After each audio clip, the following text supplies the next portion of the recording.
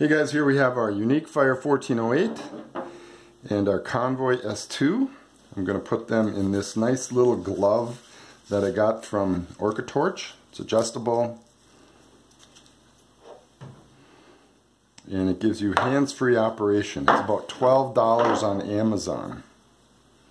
You just put the wrist lanyard on first, put the light in there, and now you have hands-free operation. Pick up more rocks or, or what have you.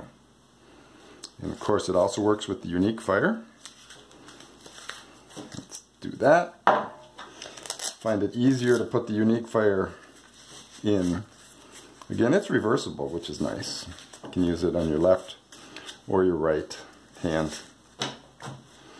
Uh, the Uniquefire has a little thicker barrel, so I find it easier to take the butt off of the battery compartment and then slip it into the glove with a little bit of work.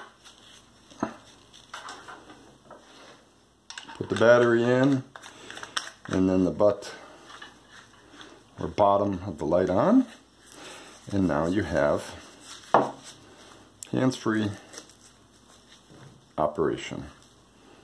Been using it for a while with my dive lights and it works well obviously with Yooperlite hunting lights as well. Thanks for watching.